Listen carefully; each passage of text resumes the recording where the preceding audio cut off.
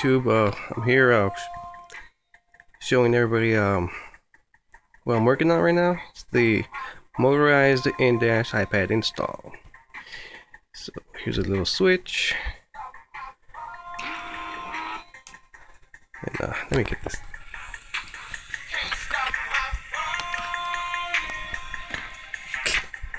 Fail.